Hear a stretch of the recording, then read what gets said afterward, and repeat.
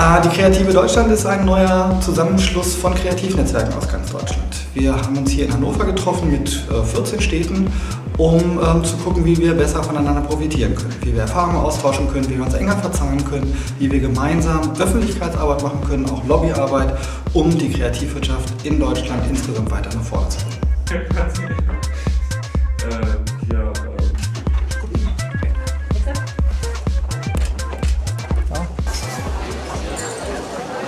Den höchsten Lebenswert hat eine Stadt, wenn das Thema äh, des Kreativen, äh, der Kunst, auch des Städtebaus, der, der Stadtkultur, äh, wenn das immer mitgedacht ist. Sonst sind Lebensstädte nicht wirklich, ähm, sonst haben sie nicht die Lebensqualität, wo Menschen dann im Herzen angesprochen werden.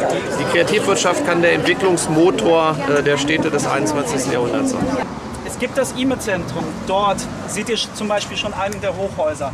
Stellt euch einfach vor, da vorne wäre ein Café oder eine Kneipe oder eine Bar. Gruppenfoto, Selfie. Also mein Name ist Sabine Gollner, ich bin hier für die Künstlerkolonie Fichtelgebirge und äh, ich bin hier gekommen, weil wir sehr viele gemeinsame Interessen haben, deutschlandweit. Wir müssen ernst genommen werden, weil wir sehr, sehr viel Wirtschaftskraft haben, aber noch viel mehr Potenzial. Und ja, da ist die Zukunft drin. Ähm, André Batz, ähm, Vorstand vom Kreativnetz in Köln, KNK. Ich bin jetzt hier beim vierten Treffen ähm, Kreative Deutschland. Ähm, für mich ist es ein Grund, nochmal rauszugucken. Wir machen unsere Arbeit. Ich möchte wissen, wie arbeiten andere Netzwerke, wie kann man sich vernetzen, wie kann man lernen, wie kann man gemeinsam Synergien eingehen. Ja, also ich bin Corinna Hesse vom Netzwerk Kreative MV, Arbeitsgemeinschaft Kultur in Kreativwirtschaft in Mecklenburg-Vorpommern. Und wir beteiligen uns hier an dem bundesweiten Netzwerk, weil wir es ganz, ganz wichtig finden, dass wir uns deutschlandweit zusammentun und für die Kreativwirtschaft wirklich von unten Initiativen entwickelt, von den Kreativen selbst, die wissen, welche Probleme sie im Alltag haben, welchen Herausforderungen sie äh, ausgesetzt sind, sodass wir gemeinsam zu Lösungen finden und dann auch bundesweit eine Schlagkraft entwickeln, die ja, größer ist.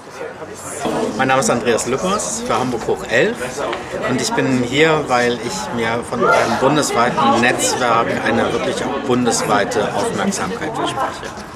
Zum Beispiel die Form von der, der Verknüpfung von Freizeit und Arbeiten, ähm, die äh, Form von Einsatz von Energie äh, zur Umsetzung von Ideen, ähm, die Möglichkeiten, Produktionswege massiv zu verkürzen und äh, durch Vernetzung und Austausch von Ideen äh, teure und aufwendige äh, Recherchen äh, zu verhindern, zu vermeiden.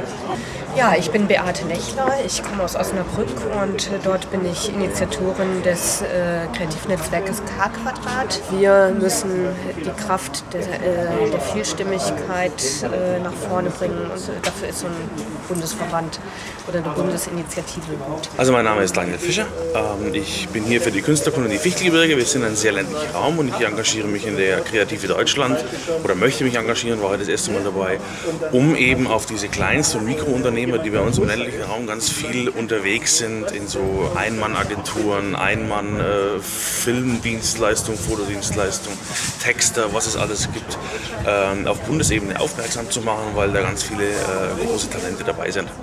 Hallo, ich bin Sophia Kontos von Wir gestalten Dresden, dem Branchenverband der Kultur- und Kreativwirtschaft von Dresden.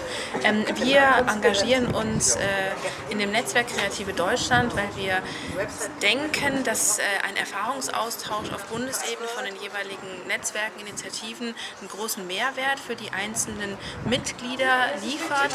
Und daher sieht man auch auf Landesebene in dem Fall, was für positive ähm, Möglichkeiten von so einem Zusammenschluss, von einem gemeinsamen gemeinsamen Schulterschluss sich ergeben und was für eine Schlagkraft entwickelt werden kann, wenn man äh, gemeinsam auftritt und nicht einzeln.